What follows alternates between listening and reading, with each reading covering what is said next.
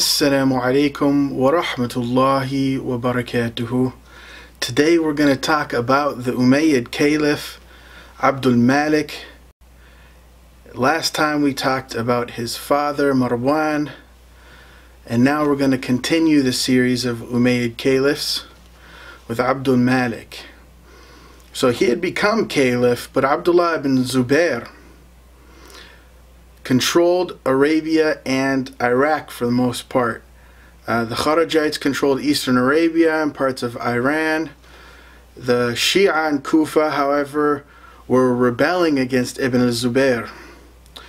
So in Kufa, the Shia were wanting people to recognize Muhammad ibn al-Hanafiya, who was the son of Ali. They wanted people to recognize him as Caliph. So they believed that uh, Muhammad ibn al-Hanafiya was the Mahdi, that he was the eschatological figure who was going to usher in the good at the end times and bring back Prophet Jesus, Nabi Isa alayhi salam. And so they were propping Ali's son Muhammad up as the Mahdi.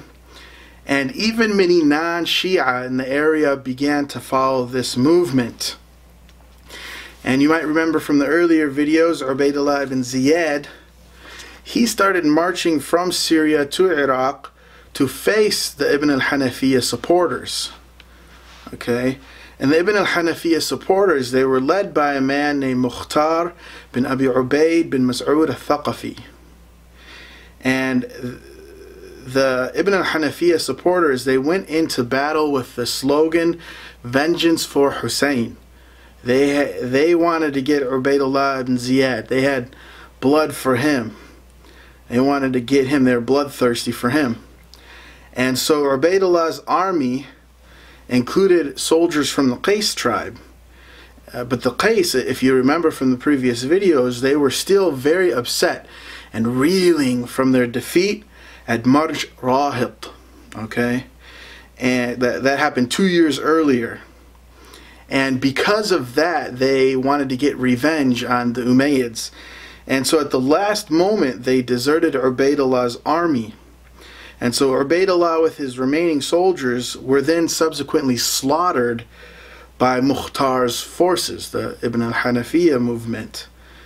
And so the Shia militia, they won and they secured northern Iraq as well as Kufa through this victory. Meanwhile, you had this uh, tribe called the Judham tribe in Palestine that rebelled against Abdul Malik bin Marwan. And they declared allegiance to Ibn al-Zubair instead. Uh, the problem is Ibn al-Zubair didn't send them reinforcements and Abdul Malik, um, he made a treaty with the Byzantine Empire, or like a ceasefire, and he quickly defeated this Judham tribe and set his sights then on the Zubayrid forces.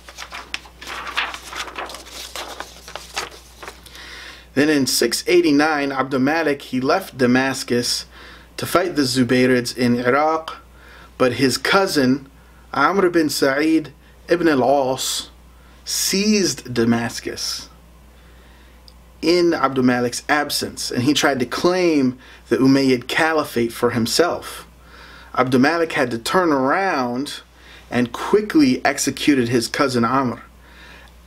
And still the Qais tribe was rebelling against the Umayyads. And Abdul Malik had to crush them and finally got rid of them in the summer of 691.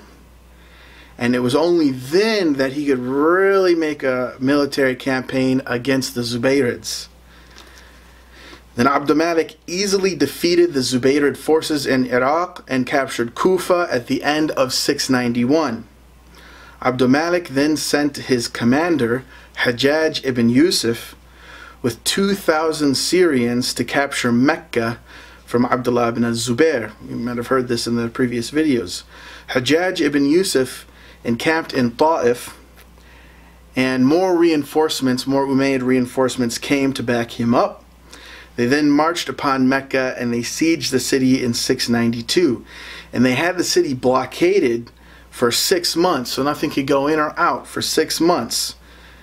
and uh, a lot of people defected from Abdullah bin Zubair's army, and eventually Abdullah bin Zubair was killed outside the city in September 692. Gregorian. In the sieging, the Kaaba itself was destroyed and had to be rebuilt. Some think this might have been on purpose because Abdullah ibn Zubair, he had uh, built some stuff on the Kaaba, remade the Kaaba in a sense, so they think that maybe this was intentional. The Umayyads wanted to destroy it so they could rebuild it themselves. When uh, uh, Hajjaj ibn Yusuf occupied the city of Mecca, um, he wasn't so great to the Sahaba. He lashed uh, one of them, Anas, and he then, uh, one of his soldiers like stabbed Abdullah ibn Omar in the foot and that led to his death. Maybe it was an infection or something like that, but it led to his death, radiallahu anhu. And so that's kind of like a stain on, on Hajjaj ibn Yusuf's legacy there. And Abdullah ibn Zubair, he reigned in Mecca since Muawiyah's death. So he never allowed Yazid to rule Mecca or Marwan. Um, so he was finally defeated by Marwan's son, Abdul Malik and after that, Abdul Malik was recognized in all of the Amsar, all the different garrisons, fortresses, military bases, you know, the places where the Arabs and Muslims lived around the uh, caliphate, the empire. He was recognized as Amir al-Mu'mineen by everybody this time.